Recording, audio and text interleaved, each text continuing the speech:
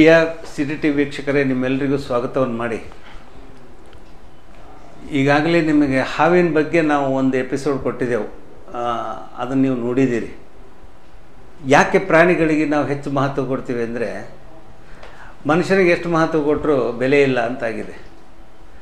So ಬೆಲೆ ಸಿಗಬೇಕು, ನಮ್ಮ ಬದುಕಿನಲ್ಲಿ ನಾವು ಮಾಡಿದ್ದಕ್ಕೆ ಥ್ಯಾ ಇದು ಎಲ್ಲ ಥ್ಯಾಂಕ್ಸ್ಲೆಸ್ ಜಾಬ್ ಅಂತಾರೆ ಅದಕ್ಕೆ. ನೋ, ಇದು ಹಾಗಾಗಿ ಪ್ರಾಣಿಗಳನ್ನಾದರೂ ನೋಡೋಣ. ಪ್ರಾಣಿಗಳು ಹೇಗೆ ನಮಗೆ ಥ್ಯಾಂಕ್ಸ್ ಅವು ಅವಕ್ಕೆ ಹೇಗೆ ನಾವು ರೆಸ್ಪಾನ್ಸ್ ಮಾಡಬೇಕು, ನಮಗೆ ಹೇಗೆ ಅವು ರೆಸ್ಪಾನ್ಸ್ ಮಾಡ್ತಾವಂತ ಈಗ ನೋಡಿರಿ ಒಂದು ನಾಯಿಗೆ ನೀವು ಒಂದು ಒಂದು ಸಣ್ಣದ ರೊಟ್ಟಿ ನಿಮ್ಮ ಮನೆಯೊಳಗೆ ಯಾವುದೋ ಇದ್ದಿದ್ದನ್ನು ಹಾಕಿದ್ರೆ ಇಡೀ ಸಾಯಂಕಾಲವರೆಗೆ ನಿಮ್ಮ ಮನೆಯನ್ನು ಕಾ, ಕಾಪಾಡತ್ತೆ. ಅಂದರೆ ಅದೇ ಬೆಕ್ಕನ್ನು ನೀವು ಒಳಗಿಟ್ಕೊಳ್ತೀವಿ. ನಿಯತ್ತ ನಾಯಿನ ಹೊರಗೆ ಇಡ್ತೇವೆ, ಕುತಂತ್ರ ಬುದ್ಧಿಯ ಬೆಕ್ಕನ್ನು ಮನೆಯೊಳಗೆ ಇಟ್ಕೊಳ್ತೀವಿ. ಬೆಕ್ಕಿಗೆ ನೋಡಿ ನೀವು ಕಾ ಹಾಲು ಕುಡಿಸ್ತೀರಿ, ಆದರೆ ಅದು ಕಣ್ಣು ಮುಚ್ಕೊಂಡು ಕುಡಿತಿರ್ತೀರಿ. ಅದು ಅದು ಹೇಳೋದೇ ಇಲ್ಲ ಏನು. ಇವರು ಉಪಕಾರ ಮಾಡ್ಯಾರ ಅಂತ ಹೇಳೋದಲ್ಲ ಬೆಕ್ಕು. ಅಂಥವನ್ನ ಮನೇಲಿ ಇಟ್ಕೊಳ್ತೀರಿ. ನಿಜವಾಗಿ ನನಗೆ ಹಸ್ತಾಗ ಅನ್ನ ಹಾಕಿದ ಮನುಷ್ಯ, ಈ ಮನೆ ಕಾಯಬೇಕು ನಾನು ಅಂತ ಇರುವಂಥ ಗುಣ ಇರುವ ನಾಯಿನ ನೀವು ಗೇಟಿಂದ ಹೊರಗಿಟ್ಟಿರ್ತೀರಿ. ಇಷ್ಟೇ ಡಿಫ್ರೆನ್ಸ್. ಇದು ಬದುಕು. ಸೊ ಇಂಥ ಬದುಕಿನಲ್ಲಿ ಎಂತಿಂಥ ಒಳ್ಳೊಳ್ಳೆ ಪ್ರಾಣಿಗಳಿದ್ದಾವೆ ಒಳ್ಳೊಳ್ಳೆ ವ್ಯವಸ್ಥೆ ಇದೆ ನಮ್ಮ ಜಗತ್ತು. ಭಗವಂತನ ಎಂಬತ್ನಾಲ್ಕು ಲಕ್ಷ ಜೀವರಾಶಿಯಲ್ಲಿ ಮನುಷ್ಯನ ಬಿಟ್ಟು ಉಳಿದೆಲ್ಲ ಪ್ರಾಣಿಗಳು ಎಷ್ಟು ನಮಗೆ ಗೌರವಾನ್ವಿತವಾಗಿ ನಡ್ಕೊಳ್ತಾವೆ, ಎಷ್ಟು ಕೊಡುಗೆಯನ್ನು ಕೊಟ್ಟಿದ್ದಾವೆ, ಎಷ್ಟು ಅವು ಅಮೂಲ್ಯವಾದಂಥ ಜೀವಿಗಳು ನಮಗಾಗಿ ಇದ್ದಾವೆ ಅನ್ನೋದನ್ನು ನಾವು ತಿಳ್ಕೊಳ್ಬೇಕಾಗಿದೆ. ಸೊ ಅಂಥ ಯಾಕಂದರೆ ಬಹಳಷ್ಟು ಕಾನೂನುಗಳು ಬರ್ತಾ ಇದ್ದಾವೆ ಈಗ. ನೀವು ಪ್ರಾಣಿಗಳನ್ನು ಸಾಕೋಂಗಿಲ್ಲ, ಹಂಗಿಲ್ಲ ಸುಮ್ಮ ಸುಮ್ಮನೆ ಈ ಇನ್ಕ್ಲೂಡಿಂಗ್ ಹಾವು ಸಮೇತ ನಾಯಿ, ಬೆಕ್ಕು, ಯಾವುದೇ ಪ್ರಾಣಿ, ಪಕ್ಷಿಗಳು ಏನೂ ಸಾಕೋಂಗಿಲ್ಲ. ಕಾನೂನುಗಳು ಸಿಕ್ಕಾಪಟ್ಟಿ ಕಾನೂನುಗಳು ಬರ್ತಾ ಇದ್ದಾವೆ ಈಗ. ಯಾಕಂದರೆ ಪ್ರಾಣಿಗಳನ್ನು ಸಂರಕ್ಷಣೆ ಮಾಡಬೇಕಾಗಿದೆ ಆ ಸಂತತಿ ಕಡಿಮೆ ಆಗ್ತಾ ಇದೆ, ಆ ತಳಿಗಳು ಕಡಿಮೆ ಆಗ್ತಾ ಇದ್ದಾವೆ ಕಾಡುಗಳು ಕಡಿಮೆ ಆಗ್ತಾ ಇದೆ. ಸೊ ಹೀಗಾಗಿ ಇವುಗಳ ರಕ್ಷಣೆ ಬೇಕು ಅನ್ನೋದಕ್ಕೆ ಜೂಗಳನ್ನೆಲ್ಲ ಸೃಷ್ಟಿ ಮಾಡ್ತಾ ಇದ್ದಾರೆ ಸರ್ಕಾರ. ಕೋಟಿ ಕೋಟಿ ಹಣ ಖರ್ಚು ಮಾಡಿ. ಆ ಪ್ರಾಣಿಗಳನ್ನು ಸಂರಕ್ಷಣೆ ಮಾಡೋಕ್ಕೆ ನಮ್ಮ ಬಿಂಕದ ಕೆಟ್ಟಿ ಪ್ರಾಣಿ, ಇದು ಇದೆಯಲ್ಲ, ಮೃಗಾಲಯ, ಮೈಸೂರು ಮೃಗಾಲಯ ಇದೆ, ಬೆಂಗಳೂರು ಬನ್ನೇರುಘಟ್ಟ ಮೃಗಾಲಯ ಇದೆ. ನೀವು ನೋಡ್ತಿಲ್ಲ, ಇವೆಲ್ಲ ಯಾಕೆ ಮಾಡಿದ್ದಾರೆ ಅಂದರೆ ಪ್ರಾಣಿಗಳನ್ನು ಸಂರಕ್ಷಣೆ ಮಾಡಬೇಕು. ನೋಡೋಕೆ ಸಿಗ್ತಾ ಇಲ್ಲ ಈಗ. ಸೊ ಅವನು ನೋಡಲಿಕ್ಕೆ ಮೃಗಾಲಯಗಳನ್ನು ತಯಾರು ಮಾಡ್ತಾ ಇದೆ ಸ, ಏನು, ರಚನೆ ಮಾಡ್ತಾ ಇದೆ ಸರ್ಕಾರ. ಕೋಟಿ ಕೋಟಿ ಖರ್ಚು ಮಾಡಿ. ಅದರಲ್ಲಿ ಕೂಡ ಹೊಡೆಯುವಂಥ ಅಧಿಕಾರಿಗಳು ಇರ್ತಾರೆ. ಅದರಲ್ಲಿ ಲೂಟಿ ಮಾಡುವಂಥವ್ರು ಇರ್ತಾರೆ. ಆ ಮೊಲಗಳಿರ್ತಾವೆ ಮಾ, ಅದನ್ನು, ಅದನ್ನೇ ಬೇಯಿಸಿ ತಿನ್ನೋರು ಇರ್ತಾರೆ. ಮಾರ್ಕೊಂಡು ತಿನ್ನೋರು ಇರ್ತಾರೆ. ಜಿಂಕೆಗಳನ್ನು ತಿಂತಾರೆ ಮಾರ್ಕೊಂಡು. ಇವೆಲ್ಲ ಇವಕ್ಕೆಲ್ಲ ಒಂದು ಜೀವ ಇದೆ. ಅವಕ್ಕೂ ಕನಿಕರ ಕೊಡಬೇಕು ನೀವು ಅವಕ್ಕೂ ಚಿಕಿತ್ಸೆ ಇದೆ, ಅವು ಮಾತಾಡ್ತವೆ ಸಂವೇದನೆ ಇದೆ, ಜ್ಞಾನ ಇದೆ, ಸ್ಮೆಲ್ ಇದೆ, ಇವನ್ನೆಲ್ಲ ತಿಳ್ಕೊಳ್ಬೇಕಂದ್ರೆ ವನ್ಯಜೀವಿಗಳ ಬಗ್ಗೆ ನಾವು ತಿಳಿಬೇಕು. ಸೊ ಆ ಒಂದು ನಿಟ್ಟಿನಲ್ಲಿ, ಯಾಕಂದರೆ ಇದು ಮನೆ ಎಂಟನೇ ತಾರೀಕುವರೆಗೆ ವನ್ಯಜೀವಿಗಳ ಸಂರಕ್ಷಣಾ ಸಪ್ತಾಹ ಅಂತ ಮಾಡಿದರು. ವನ್ಯಜೀವಿಗಳನ್ನು ನೀವು ರಕ್ಷಣೆ ಮಾಡಿ, ಅವುಗಳ ಕೊಡುಗೆಯನ್ನು ನೀವು ಮೆಲುಕು ಹಾಕ್ಕೊಳ್ಳಿ ಅವು ಕೂಡ ಸ್ಮರಣೆ ಇರಲಿ ಅವುಗಳ ಬಗ್ಗೆ. ಒಂಚೂರು ಕನಿಕರ ತೋರಿಸಿ ಅಂತ. ಸೊ ಹಾಗಾಗಿ ಇವತ್ತಿನ ವಿಶೇಷ ಚರ್ಚೆ ನಾವು ವನ್ಯಜೀವಿಗಳ ಮಹತ್ವ ಅದರಲ್ಲಿ ಅದಕ್ಕೆ ಅದಕ್ಕೇನು ಹೇಳ್ತಾರೆ ಅಂದರೆ ಕಾನನದ ಆಭರಣಗಳು ಅಂತ. ಆಭರಣ ಅಂದ್ರೆ ನಾವು ಚಿನ್ನ ಹಂಗೆಲ್ಲ ಹೇಳ್ತೇವೆ ಹಂಗೆ ಅಷ್ಟು ಅಮೂಲ್ಯವಾದದ್ದು ಅಂತ, ಅಷ್ಟು ಬೆಲೆ ಬಾಳುವಂಥವು, ಅಷ್ಟು ಅದ್ಭುತವಾದಂಥ ಒಂದು ಜೀವಿಗಳು ಅವು. ಸೊ ಆ ಒಂದು ವಿಚಾರಕ್ಕೆ ಇಟ್ಕೊಂಡು ಚರ್ಚೆ ಮಾಡತಕ್ಕಂಥ ಕಾನನದ ಆಭರಣಗಳು ವಿಶೇಷ ಚರ್ಚೆಗೆ ನಮ್ಮ ಬೆಂಕದಕಟ್ಟಿ ಮೃಗಾಲಯ ಏನಿದೆ ಅಲ್ಲ ಬೆಂಕದಕಟ್ಟಿ ಜೂ ಅಂತ ನಾವು ಹೇಳ್ತೀವಿ. ಅದರಲ್ಲಿ ಗದಗ ಮೃ ಮೃಗಾಲಯ ಅದನ್ನು ನಾವು ಹೇಳೋದಾದರೆ ಪಶು ವೈದ್ಯಕೀಯ ಸಹಾಯಕರಾಗಿ ಶಿಕ್ಷಣಾಧಿಕಾರಿಯಾಗಿ ಸೇವೆ ಕಳೆದ ಮೂರು ವರ್ಷಗಳಿಂದ ಸೇವೆ ಸಲ್ಲಿಸುವಂಥ ನಿಖಿಲ್ ಕುಲಕರ್ಣಿ ಅವರು ಬಂದಿದ್ದಾರೆ ನಮ್ಮ ಸ್ಟುಡಿಯೋಗೆ. ಅವರಿಗೆ ನಿಮ್ಮೆಲ್ಲ ವೀಕ್ಷಕರ ಪರವಾಗಿ ಸಿಟಿ ಪರವಾಗಿ ಸ್ವಾಗತವನ್ನು ಮಾಡ್ತೀವಿ. ಸರ್. ಸರ್ ಮುಖ್ಯವಾಗಿ ಬೆಂಗಳೂರು ಬನ್ನೇರುಘಟ್ಟದಲ್ಲಿ ಇದ್ರಲ್ಲ ಹೌದು ಸರ್. ಎಂಟು ತಿಂಗಳ ಕೆಲಸ ಕಾಲ- ಬನ್ನರ್ಘಟ್ಟ ಮೃಗಾಲಯದೊಳಗೆ ಪಶುವೈದ್ಯಕೀಯ ಸಹಾಯಕ ಅಂತೇಳಿ ವರ್ಕ್ ಮಾಡಿದ್ದೀನಿ. ಅದಾದ್ಮೇಲೆ ಇವಾಗ ಪ್ರೆಸೆಂಟ್ ಆಗಿ ಕಳೆದ ಮೂರು ಮೂರುವರೆ ವರ್ಷದಿಂದ ಗದಗ ಮೃಗಾಲಯದೊಳಗೆ ಪಶುವೈದ್ಯಕೀಯ ಸಹಾಯಕ ಮತ್ತು ಶಿಕ್ಷಣ ಅಧಿಕಾರಿ ಅಂತೇಳಿ ವರ್ಕ್ ಮಾಡ್ತಾ ಇದ್ದೀನಿ ಸರ್ ಗದಗ ಒಳಗೆ. ಓಕೆ. ಏನು ಈ ವನ್ಯಜೀವಿಗಳ ಬಗ್ಗೆ ಏನು ಹೇಳ್ತೀರಿ? ಸರ್ ನೀವೇ ಹೇಳ್ದಂಗೆ ವನ್ಯಜೀವಿಗಳು ನಾವು ಕಾಡಿನ ಆಭರಣಗಳು ಅಂತ ಅವನ್ನು ಕರಿತೀವಿ. ಅಂದ್ರೆ ನಮ್ಗೆ ನೀವು ಮೊದಲನೇದಾಗಿ ಹೇಳಿದ್ರಿ ಮನುಷ್ಯನಿಗೆ ಎಷ್ಟು ಭೂಮಿ ಮೇಲೆ ಬದುಕಲಿಕ್ಕೆ ಹಕ್ಕದ, ಅಷ್ಟೇ ಹಕ್ಕು ಕೂಡ ಎಲ್ಲ ಪ್ರಾಣಿ ಪಕ್ಷಿಗಳಿಗೂ ಕೂಡ ಅದ. ಈಗ ನಾವೇನಾಗ್ಲಿಕ್ಕತ್ತೀವಿ ಮನುಷ್ಯ ಒಂದು ಸ್ವಾರ್ಥ ಜೀವಿ ಆಗ್ಲಿಕತ್ತೀವಿ. ನಮ್ಮ ಉಪಯೋಗದ ಸಲುವಾಗಿ ನಾವು ವನ್ಯಜೀವಿಗಳನ್ನ ಆಮೇಲೆ ಅವುಗಳು ವಾಸಿಸುವಂಥ ವಾಸಸ್ಥಾನವನ್ನ ನಾವು ಇವಾಗ ನಾಶ ಮಾಡ್ಲಿಕತ್ತೀವಿ. ನೀವು ನೋಡಿರ್ಬೋದು, ಎಲ್ಲ ಇವಾಗ ಪ್ರೆಸೆಂಟ್ ಆಗಿ ನಾವು ಹದಿನೈದು ದಿನಕ್ಕೆ ಒಂದ್ಸರ್ತಿ ತಿಂಗಳಿಗೆ ಒಂದ್ಸರ್ತಿ ನ್ಯೂಸ್ ಪೇಪರ್ ಒಳಗೆ ಓದ್ಬೇಕಾದ್ರೆ ನಾವು ಇಂಥ ನ್ಯೂಸನ್ನು ಕೇಳೇ ಕೇಳ್ತಿರ್ತೀವಿ. ಏನಂತೇಳಿ? ಒಂದು ಚಿರತೆ ಇವಾಗ ಕಾಡು ಬಿಟ್ಟು ಈ ಮನೆಯೊಳಗೆ ಬಂದದ. ಈ ಬೀದಿಯೊಳಗೆ ಬಂದ ಈ ಸ್ಕೂಲ್ ಒಳಗೆ ಅಂತ ಅಂತೇಳಿ. ಹಂಗಾಗ್ಲಿಕ್ಕೆ ಮುಖ್ಯ ಕಾರಣನೇ ಅದಕ್ಕೆ ಮೂಲ ಪುರುಷರು ನಾವೇ ಅಂತ ನಮ್ಗೆ ಇದು ಒಂದು ನಾವು ನಾಚಿಕೆ ಆಗುವಂತ ನಮ್ಗೆ ವಿಷಯ. ಯಾಕಂತ ಹೇಳಿದ್ರೆ ನಮ್ದು ನೀವು ಪ್ರತಿ ವರ್ಷ ನೋಡ್ಕೋತ ಹೋದ್ರೆ ನಮ್ಮ ಭಾರತದ ಜನಸಂಖ್ಯೆ ಏರ್ಕೋತನೇ ಹೋಗ್ಲಿಕ್ಕೆ ಇವಾಗ ಪ್ರೆಸೆಂಟ್ ಆಗಿ ಒಂದು ನೂರ ಮೂವತ್ತು ಕೋಟಿ ಜನಸಂಖ್ಯೆ ಅದ ನಮ್ದು. ನಾವೇನ್ ಮಾಡ್ಲಿಕ್ಕೆ ನಮಗೆ ವಾಸಿಸ್ಲಿಕ್ಕೆ ವಾಸಸ್ಥಾನ ಬೇಕು ಅಂತ ಹೇಳಿ ಆ ಪ್ರಾಣಿಗಳು ವಾಸಿಸುವಂತ ವಾಸಸ್ಥಾನವನ್ನು ಕಡಿಮೆ ಮಾಡಿ ನಮ್ಮ ವಾಸಸ್ಥಾನವನ್ನು ಕಟ್ಟಿಕೊಳ್ಳಿ ಇದ್ದೀವಿ. ಇದಕ್ಕೊಂದು ಉದಾ ಉತ್ತಮ ಉದಾಹರಣೆ ಹೇಳ್ಬೇಕಂದ್ರೆ ನಮ್ಗೆ ಗೊತ್ತಿರುವಂತ ಉದಾಹರಣೆ ಅಂತ ಹೇಳಿದ್ರೆ ನಮ್ಮ ರಾಷ್ಟ್ರೀಯ ಪ್ರಾಣಿ ಅಂತ ಹೇಳ್ತೀವಿ ನಾವು ಹುಲಿ ಅಂತ ಹೇಳಿ. ಕೇಳಲಿಕ್ಕೆಲ್ಲ ಚಂದ ಅನಿಸ್ತದೆ ನೋಡ್ಲಿಕ್ಕೆ ಚಲೋ ಅನಿಸ್ತದೆ ನಮ್ಗೆ. ಬಟ್ ನಿಮ್ಗೆ ಎಲ್ಲರಿಗೂ ಸಾರ್ವಜನಿಕರಿಗೆ ಒಂದು ವಿಷಯ ಗೊತ್ತಿರಬೇಕು. ಹತ್ತೊಂಬತ್ ನೂರ ನಲವತ್ತೈದರಕಿಂತ ಮೊದಲು ನಮ್ಮ ಭಾರತ ದೇಶದೊಳಗೆ ಐವತ್ತು ಸಾವಿರಕ್ಕೂ ಹೆಚ್ಚು ಹುಲಿಗಳು ಇದ್ವು. ಅಂದ್ರೆ ಅವಾಗ ನಮ್ಮ ಹೆಮ್ಮೆ ಇತ್ತು. ಅಂದ್ರೆ ಅದ್ರದ್ದು ಮೀನಿಂಗ್ ಬಟ್ ಇವಾಗ ನಾವು ಕಂಪೇರ್ ಮಾಡಿದ್ರೆ ಎರಡ್ ಸಾವಿರದ ಹದಿನೆಂಟರೊಳಗೆ ನಾವು ಹುಲಿಗಳ ಗಣತಿಯನ್ನು ಮಾಡಿದಾಗ ಅವುಗಳ ನಂಬರ್ ಇವಾಗ ಕೇವಲ ಎರಡ್ ಸಾವಿರದ ಒಂಬೈನೂರ ಅರವತ್ತೈದಕ್ಕೆ ಬಂದು ನಿಂತ ಗಣತಿ ಮಾಡಕ್ಕೆ ಹೋದ್ರೆ ಅಂದ್ರೆ ನಾವು ಪ್ರತಿ ವರ್ಷ ಈಗ ಯಾವ ರೀತಿ ಹತ್ತು ವರ್ಷಕ್ಕೊಮ್ಮೆ ನಾವು ಜನಗಣತಿ ಅಂತ ಮಾಡ್ತೀವಿ ಅದೇ ರೀತಿಯಾಗಿ ನಾವು ಪ್ರತಿ ನಾಲ್ಕು ವರ್ಷಕ್ಕೊಮ್ಮೆ ಹುಲಿಗಳ ಗಣತಿ ಅಂತ ಮಾಡ್ತಾರೆ ಸರ್. ಅಂದ್ರೆ ಯಾವ ಆಧಾರದ ಮೇಲೆ ಮಾಡ್ತೀವಿ? ಇವಾಗ ಜನಗಣತಿ ಅಂತ ಹೇಳಿದ್ರೆ ನಾವು ಮನೆ ಮನೆಗೆ ಹೋಗಿ ನಿಮ್ಮ ಮನೆಯೊಳಗೆ ಎಷ್ಟು ಜನ ಅದಾರ ಎಷ್ಟು ವಯಸ್ಕರ ಅದಾರ ಎಷ್ಟು ಮಕ್ಕಳಿದಾರ ಅಂತ ಕೇಳ್ಕೊಂಬರ್ತೀವಿ ಬಟ್ ಕಾಡಿನೊಳಗೆ ಹುಲಿಗಳ ಗಣತಿಯನ್ನು ಯಾವ ರೀತಿ ಮಾಡ್ತೀವಿ ಅಂತ ಹೇಳಿದ್ರೆ ಫಾರ್ ಎಕ್ಸಾಂಪಲ್ ಇವಾಗ ನಮ್ಗೆ ಹುಲಿಗನ್ ಯಾವ ರೀತಿ ನಾವು ಡಿಫ್ರೆನ್ಸ್ ಮಾಡ್ತೀವಿ ಅಂತ ಹೇಳಿದ್ರೆ ನಮ್ಮ ಮನುಷ್ಯನ ಬೆರಳಚ್ಚು ಅಂತ ಏನು ಕರಿತೀವಿ ಫಿಂಗರ್ ಪ್ರಿಂಟ್ಸ್ ಅಂತೇಳಿ ಈ ಒಂದು ನೂರ ಮೂವತ್ತು ಕೋಟಿ ಜನರದ್ದು ಬೇರೆ ಬೇರೆ ಫಿಂಗರ್ ಪ್ರಿಂಟ್ ಇರ್ತದೆ ಅದಕ್ಕಾಗಿ ನಾವು ಏನೋ ನಮ್ಮ ಐಡೆಂಟಿಟಿ ತೋರಿಸ್ಬೇಕಂತ ಹೇಳಿ ಬೆರಳಚ್ಚಿನ ಮೂಲಕನೇ ಯಾವಾಗಲೂ ತೋರಿಸ್ತಾರೆ ನಮ್ಗೆ. ಅದೇ ರೀತಿಯಾಗಿ ಹುಲಿಗಳ ಮೈ ಮೇಲೆ ಏನು ಕಪ್ಪು ಪಟ್ಟೆಗಳು ಇರ್ತಾವಲ್ಲ ಆ ಪಟ್ಟೆಗಳು ಒಂದು ಹುಲಿಗೆ ಇದ್ದಂಗೆ ಇನ್ನೊಂದು ಹುಲಿಗೆ ಇರಂಗಿಲ್ಲ. ಆ ಪಟ್ಟೆಗಳ ಆಧಾರದ ಮೇಲೆ ಹುಲಿಗಳನ್ನ ಡಿಫ್ರೆನ್ಶಿಯೇಟ್ ಮಾಡ್ತಾರೆ. ಅದನ್ನ ನಾವು ಯಾವ ರೀತಿ ಗಣತಿ ಮಾಡ್ತೀವಿ ಅಂತ ಹೇಳಿದ್ರೆ ಕಾರ್ಡ್ ಒಳಗೆಲ್ಲಾನು ಕ್ಯಾಮ್ರಾ ಟ್ರ್ಯಾಪ್ಸ್ ಅಂತ ಹಾಕ್ತಿವಿ. ಅಂದ್ರೆ ಆ ಕ್ಯಾಮ್ರಾ ಟ್ರ್ಯಾಪ್ ಒಳಗೆ ಅದು ಹುಲಿ ಅಂದ್ರೆ ಆ ಕ್ಯಾಮ್ರಾದ ಮುಂದೆ ಹಾಸು ಹೋಯ್ತು ಅಂತ ಹೇಳಿದ್ರೆ ಅದು ಫೋಟೋ ಕ್ಯಾಪ್ಚರ್ ಮಾಡ್ತದೆ. ಆ ಫೋಟೋನ ಇನ್ನೊಂದು ಫೋಟೋನ ಕಂಪೇರ್ ಮಾಡಿ ನೋಡ್ತಾರೆ ಯಾವಾಗಲೂ. ಅದರ ಮೈ ಮೈ ಮೇಲಿರುವಂಥ ಪಟ್ಟೆಗಳ ರಚನೆ ಮತ್ತು ಇದರ ಮೈ ಮೇಲಿರುವಂಥ ಪಟ್ಟೆಗಳ ರಚನೆಯನ್ನು ಕಂಪೇರ್ ಮಾಡಿ ಅವುಗಳ ಹುಲಿಗಳ ನಡುವೆ ಡಿಫ್ರೆನ್ಸ್ ಮಾಡ್ತಾರೆ. ಹಿಂಗೆ ಈ ಟೈಮ್ ಒಳಗೆ ಏನಾಗಿದೆ? ಇವಾಗ ನಮ್ದು ಆಲ್ಮೋಸ್ಟ್ ಎರಡ್ ಸಾವಿರದ ಹತ್ತೊಂಬತ್ತು ನೂರ ನಲವತ್ತೈದು ಮತ್ತು ಎರಡು ಸಾವಿರದ ಹದಿನೆಂಟಕ್ಕೆ ಕಂಪೇರ್ ಮಾಡಿದ್ರೆ ನಾವು ಆಲ್ಮೋಸ್ಟ್ ನಲವತ್ತೇಳು ಸಾವಿರಕ್ಕೂ ಹೆಚ್ಚು ಹುಲಿಗಳನ್ನು ನಾವು ಈಗಾಗಲೇ ಸಾಯಿಸಿಬಿಟ್ಟಿವಿ ಇದಕ್ಕೆ ಮುಖ್ಯ ಕಾರಣ ಏನಂತ ಹೇಳಿದ್ರೆ ಒಂದು ವನ್ಯಜೀವಿಗಳನ್ನ ನಾವು ಬೇಟೆಯಾಡೋದು ಅಂತ ಹೇಳ್ತಾರೆ ಪೋಚಿಂಗ್ ಅಂತ ಹೇಳ್ತೀವಿ ಅಥವಾ ಹಂಟಿಂಗ್ ಅಂತ ಹೇಳ್ತೀವಿ. ಈ ಹಂಟಿಂಗ್ ಇವಾಗ ಹಿಂದೆಲ್ಲ ಜಾಸ್ತಿ ಇತ್ತು. ಇವಾಗೆಲ್ಲ ಕಾನೂನುಗಳು ಸ್ಟ್ರಿಕ್ಟ್ ಆದ್ಮೇಲೆ ಇವು ಕಡಿಮೆ ಆಗಿದೆ. ಇದಕ್ಕೆ ಒಂದು ಉತ್ತಮ ಉದಾಹರಣೆ ಹೇಳ್ಬೇಕಂತ ಹೇಳಿದ್ರೆ, ಎರಡು ಸಾವಿರದ ಆರರ ಹುಲಿ ಗಣತಿಯ ಪ್ರಕಾರ ನಮ್ಮ ಭಾರತ ದೇಶದೊಳಗೆ ಕೇವಲ ಒಂದು ಸಾವಿರದ ನಾಲ್ಕುನೂರ ಹನ್ನೊಂದು ಹುಲಿಗಳಿದ್ವು.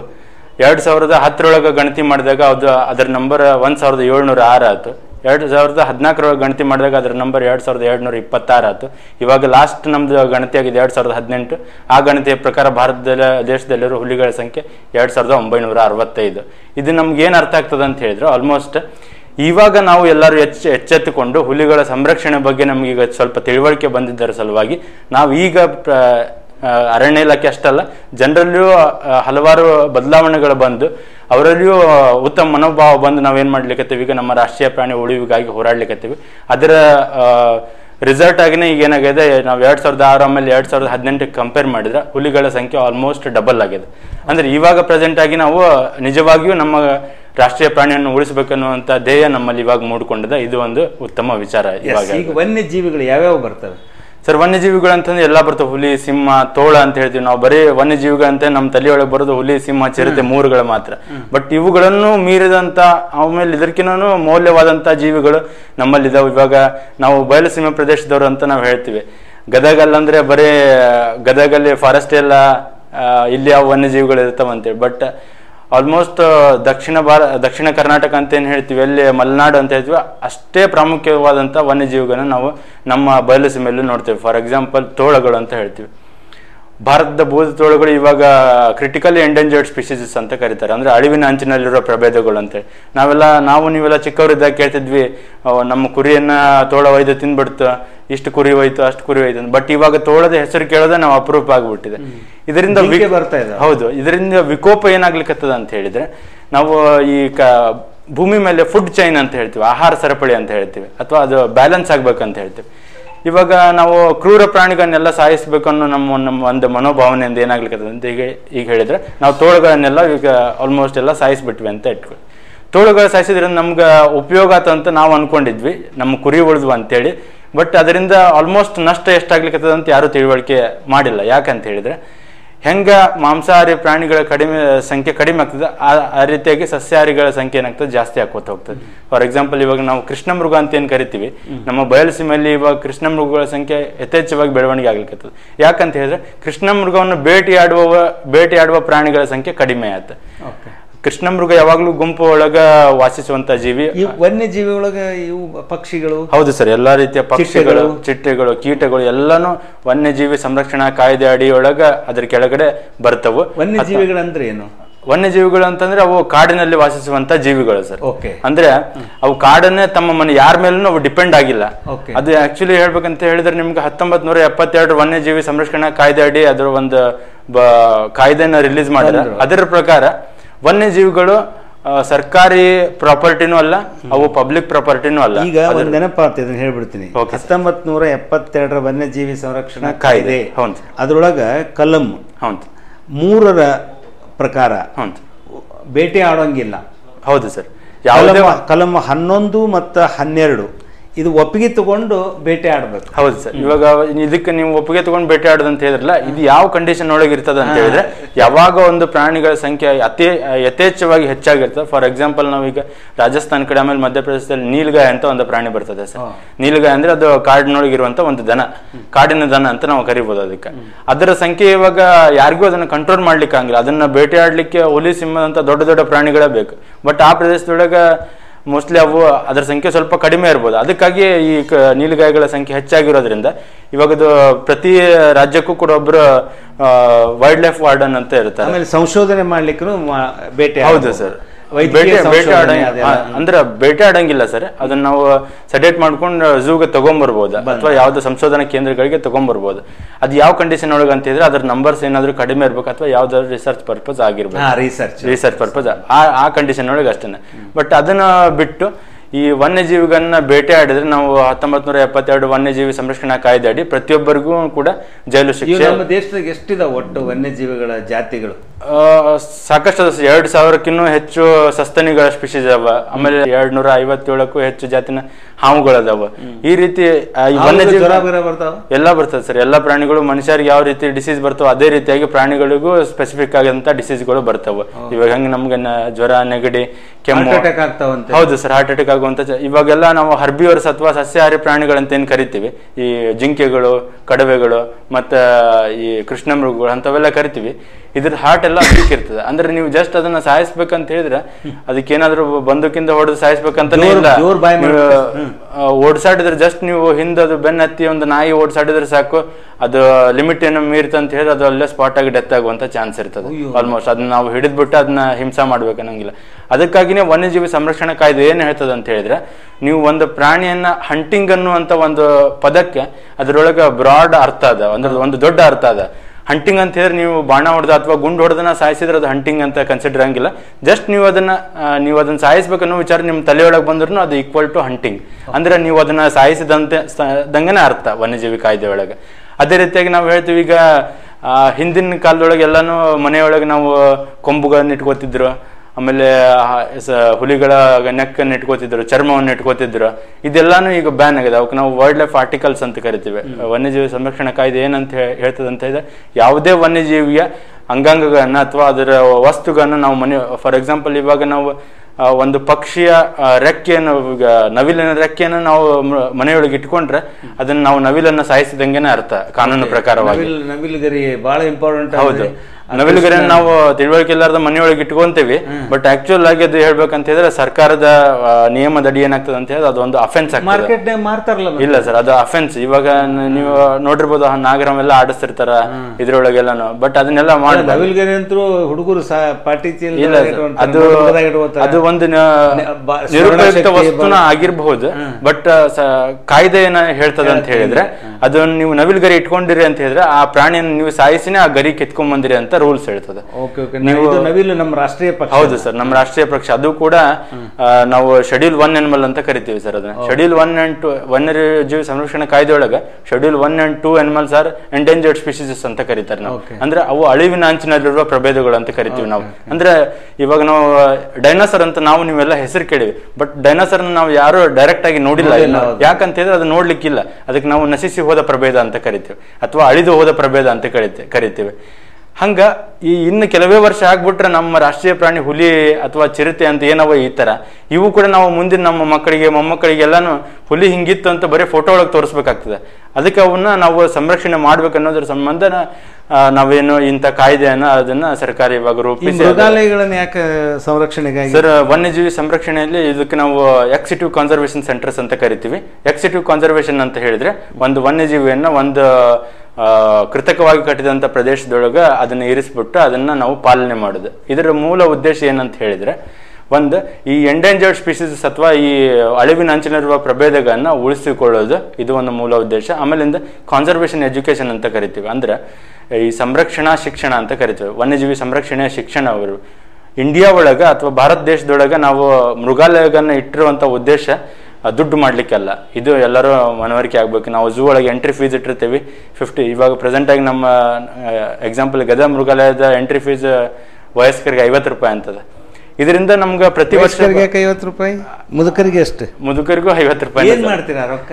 ಇಲ್ಲ ಸರ್ ಅದು ಆಕ್ಚುಲ್ ಆಗಿ ನಮ್ಮ ಮೃಗಾಲಯಕ್ಕೆ ನಾವು ಯುಟಿಲೈಸ್ ಮಾಡ್ತೀವಿ ಅದನ್ನ. ಬಟ್ ನಿಮ್ಗೆ ಹೇಳ್ಬೇಕು ಹೇಳ್ಬೇಕಂತ ಇಲ್ಲ. ಸರ್ ಅದು ಎಷ್ಟು ಕಡಿಮೆ ಆಗ್ತದೆ ಅಂತ ನಿಮ್ಗೆ ಹೇಳ್ತೇನೆ ನಾನು. ಇದ್ರ ನಮ್ದು ಲಾಸ್ಟ್ ಇಯರ್ದ ಇನ್ಕಮ್ ಅದ ಮೂವತ್ತೈದು ಲಕ್ಷ ರೂಪಾಯಿ. ನಮ್ಮ ಒಂದ್ ವರ್ಷದೊಳಗೆ ನಮ್ಮ ಝೂಗೆ ಬಂದಿದಂತ ಆದಾಯ ಮೂವತ್ತೈದು ಲಕ್ಷ ರೂಪಾಯಿ. ಬಟ್ ನಮ್ಮ ಖರ್ಚು ಎಷ್ಟಿರ್ತದೆ ಅಂತ ಹೇಳಿದ್ರೆ ಪ್ರತಿ ವರ್ಷ ಒಂದು ಪಾಯಿಂಟ್ ಎಂಟರಿಂದ ಎರಡು ಕೋಟಿ ರೂಪಾಯಿ ಇರ್ತದೆ.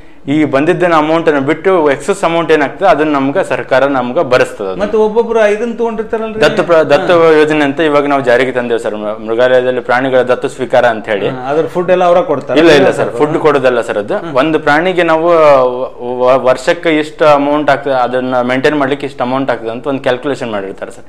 ಬಟ್ ಫಾರ್ ಎಕ್ಸಾಂಪಲ್ ಹೇಳ್ಬೇಕಂದ್ರೆ ಒಂದು ಹುಲಿಯನ್ನ ಒಂದು ವರ್ಷ ನೀವು ಝೂ ಒಳಗೆ ಮೇಂಟೈನ್ ಮಾಡ್ಬೇಕಂತ ಹೇಳಿದ್ರೆ ನಮ್ಗೆ ಮಿನಿಮಮ್ ಆರರಿಂದ ಏಳು ಲಕ್ಷ ರೂಪಾಯಿ ನೆಸೆಸರಿ ಇರ್ತದೆ. ಅದು ಮಾಂಸಾಹಾರಿ ಪ್ರಾಣಿ ಆಗಿರೋದ್ರಿಂದ. ಬಟ್ ನಾವು ಅಡಾಪ್ಟ್ ಏನ್ ಮಾಡ್ಕೋತಾರ ದತ್ತು ಏನ್ ಸ್ವೀಕಾರ ಮಾಡ್ತಾರೆ ಅವ್ರ ಕಡೆ ಕೇವಲ ಒಂದ್ ಲಕ್ಷ ರೂಪಾಯಿನ ಇಸ್ಕೋತೀವಿ. ಅಂದ್ರೆ ಅವರಿಗೆ ಪ್ರಾಣಿಯ ಬಗ್ಗೆ ಪ್ರೀತಿಯನ್ನು ಅವ್ರು ತೋರಿಸ್ಕೋಬಹುದು ಅವರಿಗೆ ಆಮೇಲಿಂದ ಜಾಸ್ತಿ ಭಾರನೂ ಆಗಿರಬಾರ್ದು. ಇವಾಗ ಏಳು ಎಂಟು ಲಕ್ಷ ರೂಪಾಯಿ ಕೊಟ್ರೆ ಯಾರು ಮುಂದೆ ಬರೋದಿಲ್ಲ. ಬಟ್ ಎಂಟು ಹತ್ತು ಜನ ಒಂದೇ ಹುಲಿಯನ್ನು ಅಡಾಪ್ಟ್ ಮಾಡಿದ್ರೆ ಅಂತ ಹೇಳಿದ್ರೆ ಅದ್ರದ್ದು ಆಲ್ಮೋಸ್ಟ್ ಅದ್ರ ಮೇಂಟೆನೆನ್ಸ್ ಅಮೌಂಟ್ ನಾವು ಅಲ್ಲೇ ಅಲ್ಲಿ ಕಲೆಕ್ಟ್ ಅಲ್ಲಿ ಹಂಗೆ ಕೇಳ್ತೀನಿ ನಿಮ್ಗೆ. ಮೃಗಾಲಯದೊಳಗೆ ಅಧಿಕಾರಿಗಳು ಭಾರಿ ಸ್ಮಾರ್ಟ್ ಅದಾರ. ಆದ್ರ ಪ್ರಾಣಿಗಳೆಲ್ಲ ಸೊರಗಿ ಬಿಟ್ಟವಲ್ಲ? ಇಲ್ಲ ಸರ್ ಅದು ನೋಡಿದವ್ರಿಗೆ ಹಂಗ ಅನಿಸ್ತೈತೆ ಸರ್ ನಮ್ದು ತಲೆಯೊಳಗೆ ಏನಿರ್ತೈತೆ ಅಂತ ಹೇಳಿ ಯಾವಾಗ್ಲೂ ದಷ್ಟ ಪುಷ್ಟಾಗಿ ಬೆಳೆದ್ರಷ್ಟೇ ಪ್ರಾಣಿ ಆರೋಗ್ಯವಾಗಿರ್ತೈತೆ ಅಂತ ನಾವು ತಿಳ್ಕೊಂತೀವಿ. ದಪ್ಪ ಆಗಿರ್ಬೇಕು ನಮ್ಗೆ ನೋಡ್ಲಿಕ್ಕೆ ಬಟ್ ಆಕ್ಚುಲ್ ಆಗಿ ಹರ್ಬಿ ಒಳಗೆ ಅಥವಾ ಸಸ್ಯಾಹಾರಿ ಅಂತ ಏನ್ ಕರಿತೀವಿ ನಾವು ಯಾವಾಗ್ಲೂ ಪ್ರಾಣಿ ಹೆಲ್ದಿ ಆಗ್ಯದ ಅಂತ ಹೇಳ್ಬೇಕಂತ ಹೇಳಿದ್ರೆ ಯಾವಾಗ್ಲೂ ಹಿಂದಿನ ಮೂರು ರಿಬ್ಸ್ ಕಾಣ್ತಿರ್ಬೇಕು.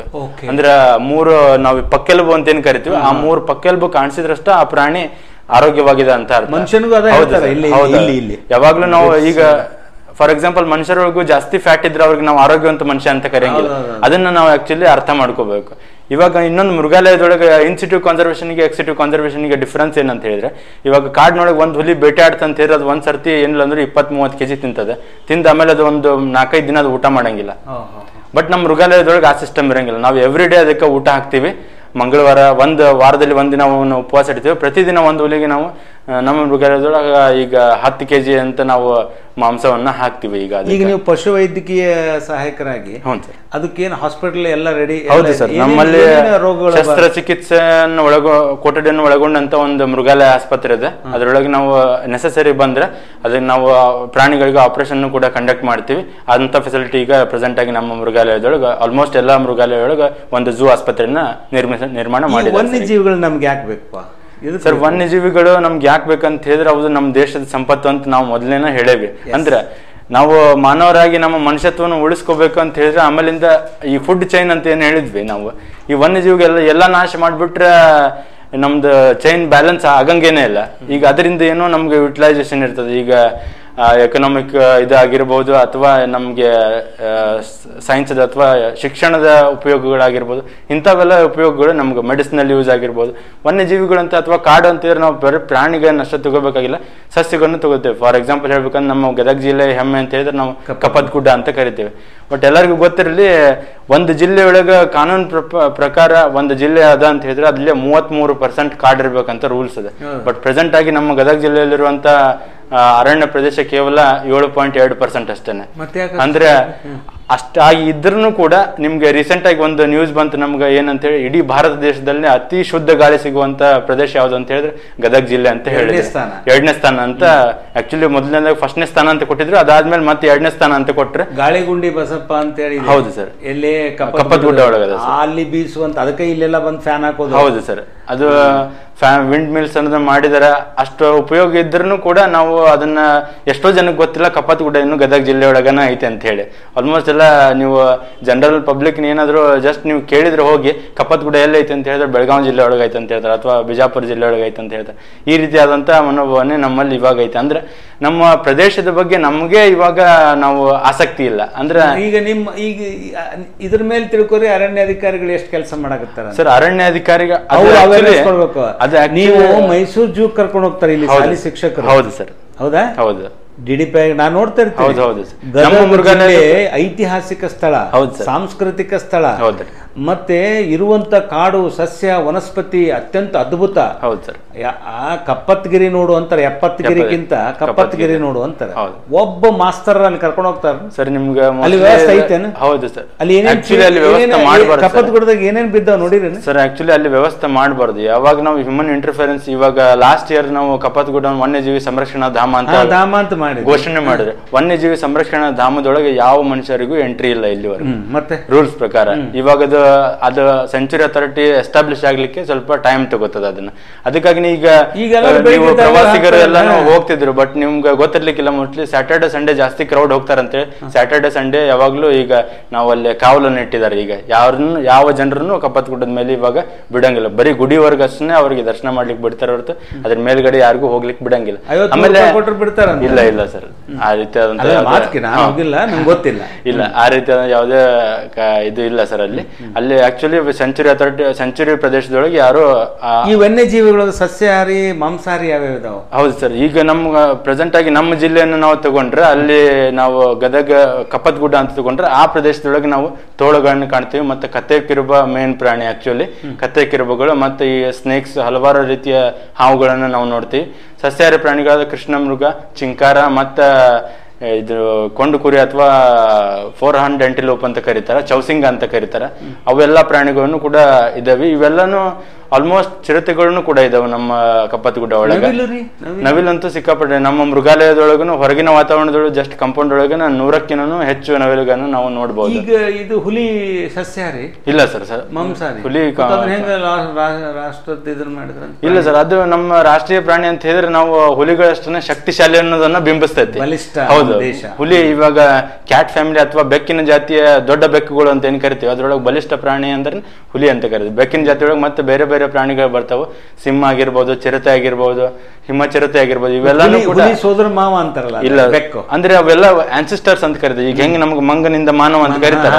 ಇವೆಲ್ಲಾನು ಒಂದೇ ಕುಟುಂಬಕ್ಕೆ ಸೇರಿದಂತ ಪ್ರಾಣಿಗಳು ಅಂತ ಅವ್ರು ಹೇಳ್ತಾರೆ ಸರ್ ಆಕ್ಚುಲಿ ಈಗ ನಾವು ಎವಲ್ಯೂಷನ್ ಹಾದಿಯೊಳಗೆ ಬಂದ ಅಥವಾ ವಿಕಾಸದ ಹಾದಿಯನ್ನು ನೋಡಿದ್ರೆ ಇದು ಹಿಂದೆ ನಮ್ಗೆ ಆಮೇಲೆ ಮಂಗಗಳಿಗೆ ಏನೋ ರಿಲೇಷನ್ ಇತ್ತು ಅಂತ ಹೇಳ್ತಾರೆ. ಈಗ ಹೇಳ್ಬೇಕಂದ್ರೆ ಹಿಂದೆ ಆದಿ ಮಾನವಾಗ ಬಾಲ್ ಇತ್ತು ಅಂತ ಹೇಳ್ತಾರೆ ನಮ್ಗೆ.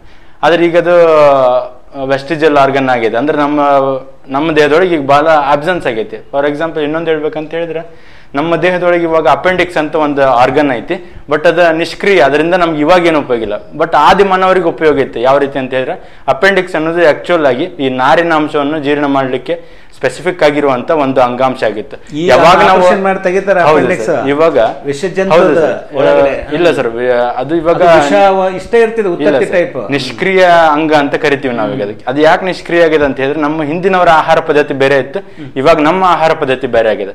ಹಿಂದಿನವ್ರು ಏನ್ ಮಾಡ್ತಿದ್ರು? ಹಸಿ ಮಾಂಸ ಗಡ್ಡೆ ಗೆಣಸನ್ನು ತಿಂತಿದ್ರು. ಯಾವಾಗ್ಲೂ ಹಸಿ ಮಾಂಸ ಗಡ್ಡೆ ಗೆಣಸಿನೊಳಗೆ ಫೈಬರ್ ಕಂಟೆಂಟ್ ಜಾಸ್ತಿ ಇರ್ತದೆ. ಅಂದ್ರೆ ನಾರಿನ ಅಂಶ ಜಾಸ್ತಿ ಇರ್ತದೆ.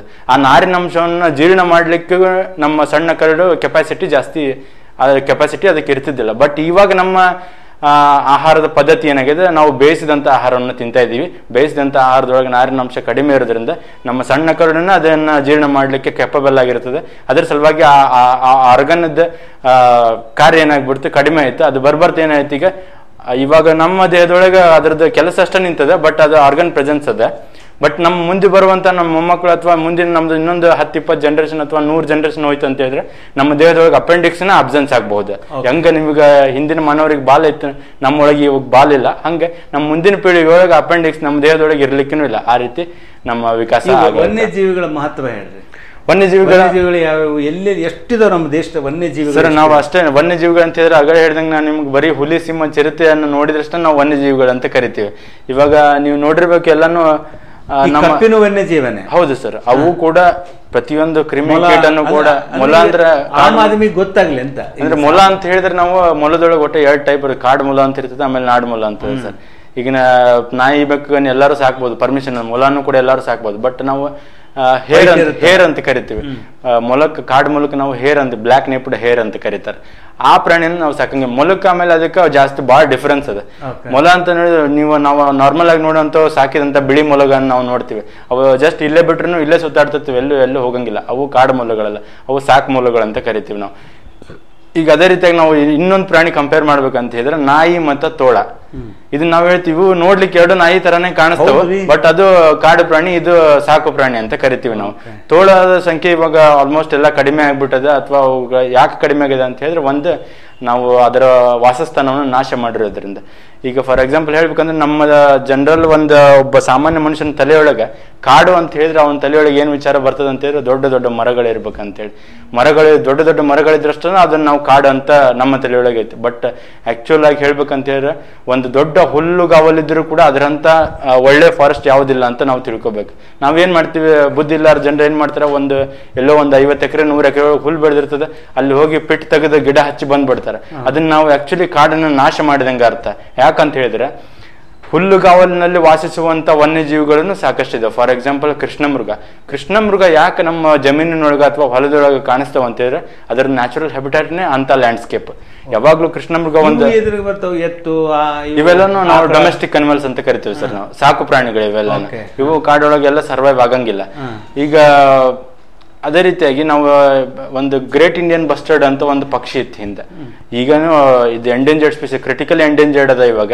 ಅದೇ ಆಕ್ಚುಲಿ ಸಲೀಂ ಅಲ್ಲಿ ಪಕ್ಷಿ ಪ್ರೇಮಿ ಸಲೀಂ ಅಲಿ ಅವರು ನಮ್ಮ ರಾಷ್ಟ್ರೀಯ ಪಕ್ಷಿಯಾಗಿ ಘೋಷಣೆ ಮಾಡುವಷ್ಟು ಅದು ಪಾಪ್ಯುಲರ್ ಇತ್ತು ಆ ಪಕ್ಷಿ. ಬಟ್ ಯಾವಾಗ ನಾವು ಗ್ರಾಸ್ಲ್ಯಾಂಡ್ ಅನ್ನ ನಾಶ ಮಾಡಿಬಿಟ್ವಿ, ಅದರ ಸಂಖ್ಯೆ ಇವಾಗ ಬರೀ ಮುನ್ನೂರು ಕೇವಲ ಮುನ್ನೂರು ಪಕ್ಷಿಗಳು ಮಾತ್ರ ನಮ್ಮ ಇಡೀ ಭಾರತ ದೇಶದೊಳಗೆ ಉಳ್ಕೊಂಡವ ಈಗ. ಅಂದ್ರೆ ಆಲ್ಮೋಸ್ಟ್ ಈಗ ಈ ಗದಗ ವನ್ಯಜೀವಿಗಳಿಗೆ ಏನೇನು ಪ್ರಾಶಸ್ತ್ಯ ಅದ?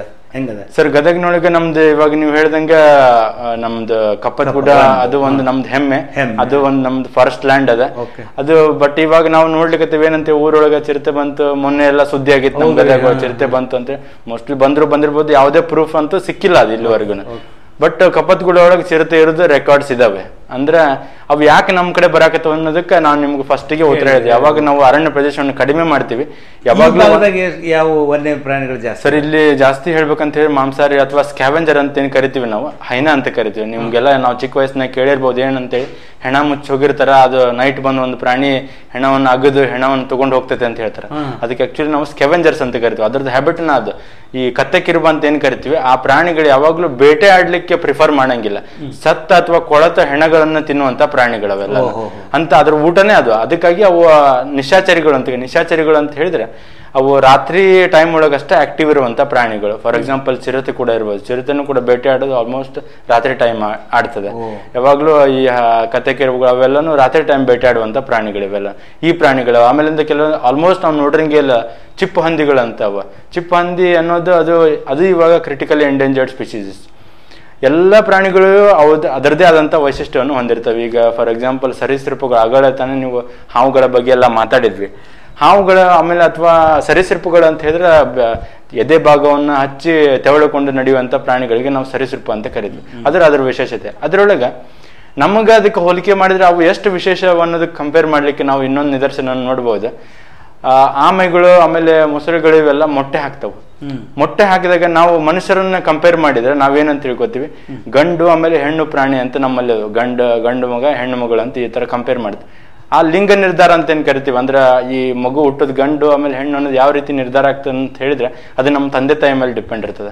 ಬಟ್ ಸರೀಸೃಪಗಾನ್ ನೀವು ಕನ್ಸಿಡರ್ ಮಾಡಿದ್ರೆ ಫಾರ್ ಎಕ್ಸಾಂಪಲ್ ಆಮೆಗಾನ್ ನೀವು ಕನ್ಸಿಡರ್ ಮಾಡಿದ್ರೆ ಒಂದು ಆಮೆ ಏನಿಲ್ಲ ಅಂದ್ರೆ ಇಪ್ಪತ್ತರಿಂದ ಮೂವತ್ತು ಮೊಟ್ಟೆಗಾನ್ ಹಾಕ್ತದೆ ಒಂದ್ಸರಿ ಹಾಕಿದ್ರೆ ಅದ್ರೊಳಗೆ ಗಂಡು ಆಮೆ ಹೆಣ್ಣು ಆಮೆ ಅಂತ ಹುಟ್ಟುತ್ತವೆ ಬಟ್ ಅದು ಯಾವಾಗಲೂ ತಂದೆ ತಾಯಿ ಮೇಲೆ ಡಿಪೆಂಡ್ ಆಗಿರಂಗಿಲ್ಲ. ಅದು ಯಾವಾಗಲೂ ವಾತಾವರಣದ ಉಷ್ಣತೆ ಮೇಲೆ ಡಿಪೆಂಡ್ ಆಗ್ತದೆ. ಯಾವ ಮೊಟ್ಟೆಗಳ ಮೇಲೆ ಜಾಸ್ತಿ ಉಷ್ಣಾಂಶ ಬೀಳ್ತದೆ ಆ ಅದರಿಂದ ಹೊರಬರುವಂತ ಮರಿಗಳೆಲ್ಲ ಹೆಣ್ಣು ಆಮೆಗಳಾಗಿರ್ತವೆ. ಯಾವ ಮೊಟ್ಟೆ ಮೇಲೆ ಕಡಿಮೆ ಉಷ್ಣಾಂಶ ಬಿದ್ದಿರ್ತದೆ ಅದರಿಂದ ಬರುವಂತ ಮರಿಗಳೆಲ್ಲ ಗಂಡು ಆಮೆಗಳಾಗಿರ್ತವೆ ಇದು ಒಂದು ನಿಸರ್ಗ ನಿಸರ್ಗದ ಒಂದು ವಿಶೇಷತೆ ಇವೆಲ್ಲಾನು. ಆಮೇಲಿಂದ ಹಾವುಗಳು ಪೊರೆ ಬಿಡ್ತಾವ ಅಂತ ಹೇಳಿದ್ರೆ ಹಾವು ಯಾಕೆ ಪೊರೆ ಬಿಡ್ತಾವ ಅಂತ ಹೇಳಿದ್ರೆ ಅದು ಪೊರೆ ಬಿಡ್ಲಿಕ್ಕೆ ಒಂದೇ ಒಂದು ಕಾರಣ ಅದು ಬೆಳವಣಿಗೆ ಆಗ್ಲಿಕ್ಕೆ. ಆಮೇಲಿಂದ ಅದರ ಮೈ ಮೇಲೆ ಆದಂತ ಚಿಕ್ಕ ಚಿಕ್ಕ ಗಾಯಗಳು ಅದು ಒಂದ್ಸರ್ತಿ ಪೊರೆ ಬಿಡ್ತ ಅಂತ ಹೇಳಿದ್ರೆ ಅದೆಲ್ಲ ಗಾಯಗಳು ವಾಸಿ ಆಗ್ಬಿಡ್ತವೆ. ಆಮೇಲೆ ಅದರ ಹೊರ ಚರ್ಮದ ಮೇಲೆ ಅಂಟಿರುವಂತ ಎಲ್ಲ ಉಣ್ಣೆ ಚಿಗಟ ಅಂತವೆಲ್ಲನು ಹೋಗ್ಬಿಡ್ತವೆ. ಈಗ ಪ್ರಾಣಿಗಳಿಗೆ ಇವನು ಮೆಡಿಸಿನ್ ಎಲ್ಲಿ ತರ್ತೀರಿ? ಇಲ್ಲ ಸರ್ ಅದು ಎಲ್ಲ ಕಡೆ ಪಶು ಮೆಡಿ ಮೆಡಿಸಿನ್ ಅಂತ ಏನಿರ್ತದೆ ಅಥವಾ ಪಶು ವೈದ್ಯಕೀಯ ಔಷಧಿಗಳಂತ ಏನಿರ್ತವೆ ಅದನ್ನ ನಾವು ಯೂಸ್ ಮಾಡೋದು. ಹುಲಿಗೆ ಅಥವಾ ಚಿರತೆಗಂತ ಸ್ಪೆಸಿಫಿಕ್ ಆಗಿ ಏನು ಡ್ರಗ್ಸ್ ಇಲ್ಲ. ನಾವೇನು ಡೊಮೆಸ್ಟಿಕ್ ಅನಿಮಲ್ಸ್ಗೆ ಯೂಸ್ ಮಾಡ್ತೀವಲ್ಲ ಅದೇ ಅದೇ ಡ್ರಗ್ ಅನ್ನು ನಾವು ಆಕ್ಚುಲಿ ಯೂಸ್ ಮಾಡ್ತೀವಿ. ಇನ್ಫ್ಯಾಕ್ಟ್ ನಾವು ಮನುಷ್ಯರಲ್ಲಿ ಏನು ಔಷಧಿಯನ್ನು ಯೂಸ್ ಮಾಡ್ತೀವಿ ಅದನ್ನೇ ಔಷಧಿ ಯೂಸ್ ಮಾಡ್ತೀವಿ ಬಟ್ ಡೋಸೇಜ್ ಅದೆಲ್ಲನೂ ಸ್ವಲ್ಪ ವೇರಿಯೇಷನ್ ಆಗ್ತದೆ. ಇದು ಪ್ರಾಣಿಗಳಿಗೆ ಹೆಚ್ಚು ಡೋಸ್ ಇಲ್ಲ ಸರ್ ಅದು ಡಿಪೆಂಡ್ ಯಾವ ಔಷಧಿ ಕೊಡ್ತೀರಿ ಅದ್ರ ಮೇಲೆ ಡಿಪೆಂಡ್ ಈಗ ಅನಸ್ತಿಷ ಅಂತ ಏನ್ ಹೇಳ್ತೀವಿ ಅಥವಾ ಅದೆಲ್ಲ ಪ್ರಾಣಿಗೆ ಮೋಸ್ಟ್ಲಿ ಜಾಸ್ತಿ ಬೇಕಾಗ್ಬೋದು ಅಥವಾ ಚಿಕ್ಕ ಪ್ರಾಣಿ ಇದ್ರೆ ಅದಕ್ಕೆ ನಮ್ಗಿನ ಕಡಿಮೆ ಬೇಕಾಗ್ತಿರ್ಬೋದು. ಅದ್ರ ಮೇಲೆ ಡಿಪೆಂಡ್ ಆಗ್ತದೆ ಯಾವಾಗ. ಆನಿ ನೋಡ್ರಿ ಅದು ಸಸ್ಯಾಹಾರಿ ಅದು. ಹೌದು ಸರ್ ಮಾಂಸಹಾರಿ ಅಲ್ಲ ಇಲ್ಲ, ಇಲ್ಲ, ಎಷ್ಟು ಬಲಿಷ್ಠ ಬೆಳೆದ ಹೌದು. ಅದು ಅದರದ್ದು ಹ್ಯಾಬಿಟ್ ಸರ್ ಇನ್ನೊಂದು ಅದ್ರ ಅದಕ್ಕೆ ತಕ್ಕಂತ ಈಗ ಹೌದು ಸರ್. ಆನೆ ಎಲ್ಲಾನು ಆಕ್ಚುಲಿ ಅದು ನಮ್ದು ರಾಷ್ಟ್ರೀಯ ರಾಜ್ಯ ಪ್ರಾಣಿ. ಆನೆ ನಮ್ದು ರಾಜ್ಯ ಪ್ರಾಣಿ. ಇವಾಗ ಆನೆ ಎಲ್ಲ ನಮ್ ಸೈಡ್ ಎಲ್ಲ ಜೀವಿಸಕ್ ಆಗಂಗಿಲ್ಲ. ಯಾಕಂತ ಹೇಳಿದ್ರೆ ಅದು ನಮ್ಮಲ್ಲಿರುವಂತ ತಾಪಮಾನವನ್ನು ತಡ್ಕೊಳಗಿಲ್ಲ ಈಗ ನಾವು ನೋಡ್ತಿರ್ಬೋದು ಮಠದೊಳಗೆ ಆನೆಯನ್ನು ಸಾಕಿದ್ದಾರೆ ಅಲ್ಲೆಲ್ಲ ನೋಡ್ತಿರ್ಬೋದು. ಬಟ್ ಯಾವಾಗ್ಲೂ ಆನೆ ಎಂತ ಪ್ರದೇಶದೊಳಗೆ ವಾಸಿಸ್ತದೆ ಅಂತ ಹೇಳಿದ್ರೆ ಸ್ವಲ್ಪ ತಂಪು ಪ್ರದೇಶ ಬೇಕಾಗುತ್ತೆ ಹೌದು. ಆಮೇಲೆ. ಕಂಟಿನ್ಯೂಸ್ ಆಗಿ ಅದಕ್ಕೆ ನೀರು ಮತ್ತು ಮಣ್ಣು ಇರ್ಬೇಕು. ಯಾಕಂತ ಹೇಳಿದ್ರೆ ಆನೆಗಳ ಚರ್ಮದಲ್ಲಿ ಬೆವರಿನ ಗ್ರಂಥಿಗಳು ಇರಂಗಿಲ್ಲ. ಬೆವರಿನ ಗ್ರಂಥಿ ಇರಲಿಲ್ಲ ಅಂತ ಹೇಳಿದ್ರೆ ನಮ್ಮ ದೇಹದೊಳಗೆ ಉಷ್ಣಾಂಶ ಜಾಸ್ತಿ ಆಗ್ತದೆ. ಇವಾಗ ನಮ್ಮ ಗದಗ ಭಾಗದೊಳಗೆ ಅಥವಾ ಉತ್ತರ ಕರ್ನಾಟಕದೊಳಗೆ ಬಿಸಿಲು ಜಾಸ್ತಿ ಇರೋದ್ರಿಂದ ಅದರ ಮೈ ಮೈ ಒಳಗ ತಾಪಮಾನ ಜಾಸ್ತಿ ಆಗ್ತದೆ. ಅದಕ್ಕಾಗಿ ಅದಕ್ಕೆ ಸ್ಕಿನ್ ಬರ್ನ್ ಸನ್ ಬರ್ನ್ ಆಗುವಂತ ಚಾನ್ಸಸ್ ಕೂಡ ಜಾಸ್ತಿ ಇರ್ತೈತಿ. ಇದಕ್ಕಾಗಿ ಅವು ಎಂತ ವಾತಾವರಣದೊಳಗೆ ಇವಾಗ ನಮ್ಮ ಸೈಡ್ ಎಲ್ಲ ಹುಲಿ ಸಿಂಹ ಇದೆಲ್ಲ ನಮ್ಮ ಸೈಡ್ ಇಲ್ಲ.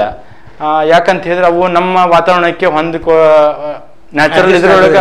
ಅಡ್ಜಸ್ಟ್ ಆಗ್ಲಾರಂತ ಬಟ್ ನೀವು ಈ ಕೇಳ್ಬೋದು ಕಾನೂನು. ಏನು ವ್ಯವಸ್ಥೆ ಇದಾವೆ? ಈ ವನ್ಯಜೀವಿಗಳ ಬಗ್ಗೆ ಸಂರಕ್ಷಣೆ. ವನ್ಯಜೀವಿಗಳು ಸಂರಕ್ಷಣಾ ಕಾಯ್ದೆ ಅಂತ ಒಂದು ದೊಡ್ಡ ಬುಕ್ನೇ ಅದ ಸರ್ ಅದು. ಅದ್ರೊಳಗ ವನ್ಯಜೀವಿಗಳನ್ನ ಸಾಯಿಸಿದ್ರೆ ಅಥವಾ ಅದನ್ನ ಹಂಟ್ ಮಾಡ್ಲಿಕ್ಕೆ ಹೋದ್ರೆ ಯಾವ ರೀತಿ ಶಿಕ್ಷೆಗಳು ಅಂತ ಅದ್ರೊಳಗೆ ಎಲ್ಲಾನು ಅದ ಇನ್ನೊಂದು ಹೇಳ್ಬೇಕಂತ ಹೇಳಿದ್ರೆ ವನ್ಯಜೀವಿಗಳನ್ನ ನಾವು ಇವಾಗ ನಾವು ಒಂದು ಹುಲಿ ಅಟ್ಯಾಕ್ ಮಾಡಕ್ ಬಂದಿರ್ತದ ನಮ್ಮ ಮೇಲೆ.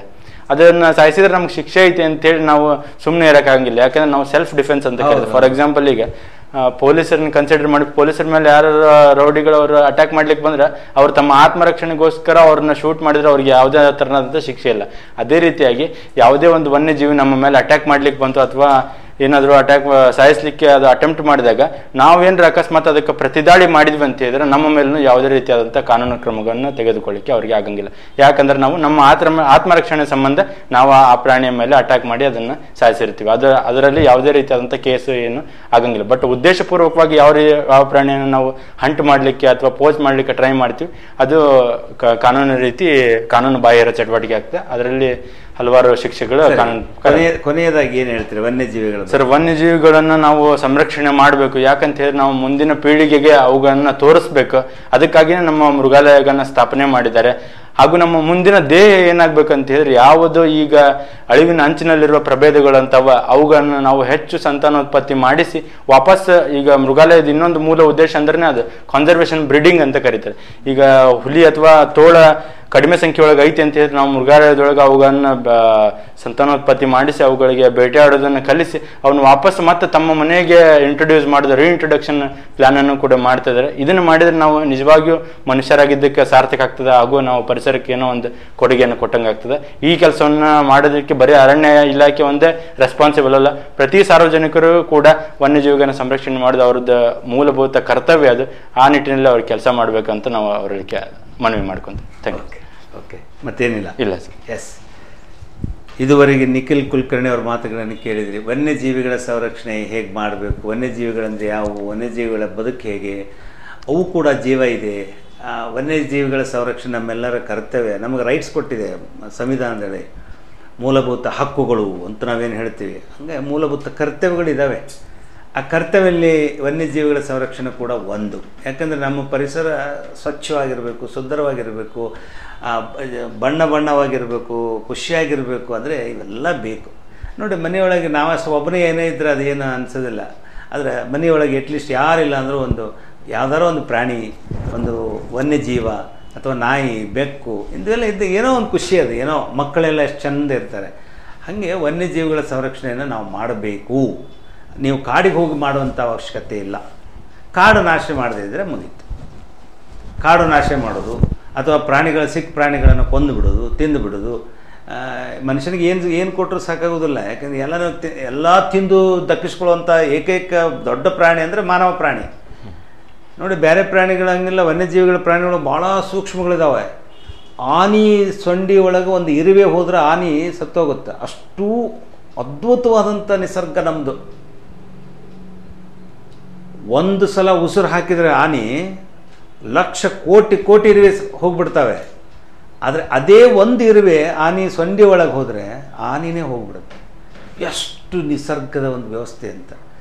ಸೊ ನೋಡಿರಿ ಕಂಪೇರ್ ಮಾಡಿರಿ. ಮನುಷ್ಯ ಹೆಂಗೆ ನಾವೆಲ್ಲರೂ ಒಂದೇ ರೀತಿ ಇರ್ತೀವಿ. ಕಲರ್ ಬದಲೇ ಇರ್ಬೋದು, ಸ್ವಲ್ಪ ಆಕಾರ ವಿಕಾರ ಕ- ಕಡಿಮೆ ಹಾಗೆ ಪ್ರಾಣಿಗಳು. ಚಿರತೆ, ಹುಲಿ ಜಿಂಕೆ ಅಥವಾ ನಮ್ಮ ಬೆಕ್ಕು, ಇವನ್ನೆಲ್ಲ ನೋಡಿದ್ರೆ ಒಂದೇ ಥರ ಎಲ್ಲ ಒಂದೇ ಥರ ಒಂದೇ ಥರ ಕಾಣ್ತಾ ಇರ್ತೀವಿ. ಸೊ ನಮ್ಮಲ್ಲಿ ಸಾಮ್ಯತೆ ಇದೆ, ಜೀವಿಗಳಿದೆ.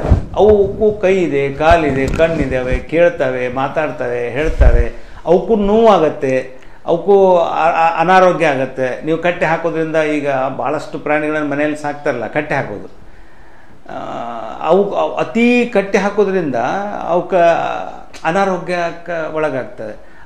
ಸೊ ಹಾಗಾಗಿ ವನ್ಯಜೀವಿಗಳ ಸಂರಕ್ಷಣೆ, ಧಾಮ ಅಂತ ನಮ್ದು ಏನು ಕಪ್ಪತ್ತು ಗುಡ್ಡ ಇದೆಯಲ್ಲ ಸುಮ್ಮನೆ ಮಾಡಿಲ್ಲ. ಇದು ಗದಗ ಜಿಲ್ಲೆ ಭಾಳ ಪ್ರಾಮುಖ್ಯವಾದದ್ದು ಇದು.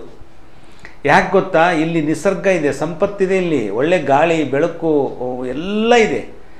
ಎಲ್ಲರೂ ಜೀವಿಸಲಿಕ್ಕೆ ಅತ್ಯಂತ ಒಳ್ಳೆ ವಾತಾವರಣ ಅಂದರೆ ಗದಗ ಜಿಲ್ಲೆ. ಆದರೆ ಆ ವಾತಾವರಣ ನಾವು ಯಾಕೆ ಹಾಳು ಆಗ್ತಾಯಿದೆ ಅಂದರೆ ಪರಿಸರವನ್ನು ಸಂರಕ್ಷಣೆ ಮಾಡ್ತಾ ಇಲ್ಲ, ಆಡಳಿತದ ವ್ಯವಸ್ಥೆ. ಇವೆಲ್ಲ ಇರ್ತವೆ. ಆದರೆ ಒಟ್ಟಾರೆ ವನ್ಯಜೀವಿಗಳನ್ನು ನಾವು ಅಂದರೆ ಜೀವಿಗಳಲ್ಲಿ ನಾವು ಕೂಡ, ನಾವು ಹೇಗೆ ನಮ್ಮನ್ನು ರಕ್ಷಣೆ ಮಾಡ್ಕೋತೀವೋ, ಹೇಗೆ ನಮ್ಮ ಮಕ್ಕಳನ್ನು ರಕ್ಷಣೆ ಮಾಡ್ತೀವೋ, ಹೇಗೆ ನಮ್ಮ ಮನೆಯನ್ನು ರಕ್ಷಣೆ ಮಾಡ್ತೀವೋ, ಹಾಗೆ ವನ್ಯಜೀವಿಗಳನ್ನು ರಕ್ಷಣೆ ಮಾಡಬೇಕು. ಆ ಏನು ಸಂತಾನ ಇದೆಯಲ್ಲ, ಆ ಸಂತತಿಯನ್ನು ಕೂಡ ರಕ್ಷಣೆ ಮಾಡಬೇಕು. ಅವ್ರ ಮನೆ ಯಾವುದು ಅಂದರೆ ಕಾಡು, ಕಾಡನ್ನು ಕೂಡ ರಕ್ಷಿಸಬೇಕು. ಪ್ರೀತಿ ಮಾಡಿರಿ. ಎಲ್ಲರೂ ನೀವು ಹುಲಿ ಸಮೇತ ಪ್ರೀತಿ ಮಾಡಿದ್ರೆ ಅದರ ಮೇಲೆ ಕೂತ್ಕೊಂಡು ಅಡ್ಡಾಡ್ತಾರೆ. ಕರಡಿ ಬರ್ತಾವ ಓಣಿ ಒಳಗೆ. ನೋಡ್ರಿ, ಕರಡಿ ಬರ್ತಿದೆ. ಕರಡಿನ ಆಟ ಆಡಿಸ್ತಿರ್ತಾರೆ. ಕರ್- ಕರಡಿ ನೋಡ್ರಿ, ತವ್ರ ಮನೆಗೆ ಹೋಗು ತೋರ್ಸಂತ ತವ್ರ ಮನೆಗೆ ಹೋಗು ತೋರಿಸುತ್ತೆ. ಅಳೋದು ತೋರಿಸುತ್ತೆ, ನಗೋದು ತೋರಿಸುತ್ತೆ. ಅದಕ್ಕೆಲ್ಲ ಟ್ರೈನ್ ಅಪ್ ಮಾಡಿರ್ತಾರೆ. ಒಂಟೆಗಳು ಬರ್ತವೆ, ಆನೆಗಳು ಬರ್ತವೆ. ಅವನ್ನೆಲ್ಲ ಮುಂದೆ ಇಟ್ಕೊಂಡು, ಹಾವುಗಳನ್ನು ಇಟ್ಕೊಂಡು ನಾವೆಲ್ಲ ಬದುಕ್ತಾ ಇದ್ದೀವಿ ಪ್ರಾಣಿಗಳನ್ನು ಇಟ್ಕೊಂಡು ಬದುಕುವಂಥ ಈ ಮಾನವ ಪ್ರಾಣಿಗೆ ಆ ಪ್ರಾಣಿಗಳಿಗೆ ಬೆಲೆ ಕೊಡೋದು ಗೊತ್ತಿಲ್ಲ ಅಂದರೆ ಇನ್ನು ಎದಕ್ಕೆ ಬೇಕು ನಿಮಗೆ ಅಂತ. ಸೊ ಹಾಗಾಗಿ ವನ್ಯಜೀವಿಗಳ ಸಂರಕ್ಷಣೆ ಬಹಳಷ್ಟು ಮುಖ್ಯ. ವನ್ಯಜೀವಿಗಳು ನಮಗೆ ಬೇಕು. ಅವು ಇದ್ದರೆ ಕಾಡು, ನಾಡು. ಅದು ಇದ್ದರೆ ರಾಜ್ಯ, ರಾಷ್ಟ್ರ. ಅವುಗಳು ಇದ್ದಾಗನೇ ಈ ಬದುಕಿಗೆ ಒಂಥರ ಬಣ್ಣ. ಸೊ ಅವನ್ನೆಲ್ಲ ಅರ್ಥ ಮಾಡಿಕೊಂಡ್ರೆ ಅದಕ್ಕೆ ಮೃಗಾಲಯಗಳನ್ನು ಸ್ಥಾಪನೆ ಮಾಡಿದ್ರೆ ಯಾರಿಗಾದ್ರೂ ಇಂಟ್ರೆಸ್ಟ್ ಇದ್ದರೆ ನೀವು ನೋಡಿ, ಅವ್ರು ಹೇಳಿದ್ರಲ್ಲ, ನೀವು ದತ್ತಕ್ಕೆ ತೊಗೋಬೋದು. ಒಂದು ಪ್ರಾಣಿಗಳನ್ನು ನಾನು ದತ್ತಕ್ಕೆ ತೊಗೊಳ್ತೀನಿ ಆ ಪ್ರಾಣಿಗೆ ಅವರಿಗೆ ಆಹಾರ ಕೊಡ್ತೀನಿ. ದುಡ್ಡು ಇಟ್ಕೊಂಡು ಏನು ಮಾಡೋದ್ರಾಗ ಅರ್ಥ ಇಲ್ಲ. ಏನಾದ್ರು ಒಂದು ಪ್ರಾಣಿಗೆ ನೀವು ಕೊಟ್ಟರೆ ಅಂದರೆ ಅದು ನಿಮ್ಮ ಹೆಸರಲ್ಲಿ ಅಲ್ಲಿ ಊಟಕ್ಕೆ ಹಾಕ್ತಾ ಇರ್ತಾರೆ. ಅದು ಬೆಳೀತಾ ಇರುತ್ತೆ. ನಿಮಗೆ ಎಲ್ಲೋ ಒಂಥರ ಸಮಾಧಾನ. ಸೊ ಎಲ್ಲ ದಾನಕ್ಕಿಂತ ಶ್ರೇಷ್ಠ ದಾನ ಅಂದರೆ ಸಮಾಧಾನ. ಸೊ ಆ ದಾನ ಮಾಡಬೇಕು ಅಂದರೆ ನಿಮ್ಮಲ್ಲಿ, ಆ, ಬೇಕು ಮಾನವೀಯತೆ. ಸೊ ಅಂಥವನ್ನೆಲ್ಲ ನಾವು ಇಟ್ಕೊಂಡು ಈ ವನ್ಯಜೀವಿಗಳನ್ನು ಸಂರಕ್ಷಣೆ ಮಾಡಿ ಅಂತ ನಮ್ಮ ನಿಖಿಲ್ ಕುಲಕರ್ಣಿ ಅವರು ಹೇಳಿದ್ದಕ್ಕೆ ಸಿಟಿ ಪರವಾಗಿ ವೀಕ್ಷಕ ಪರವಾಗಿ ಅವರಿಗೆ ಅಭಿನಂದನೆ ಸರ್. You sir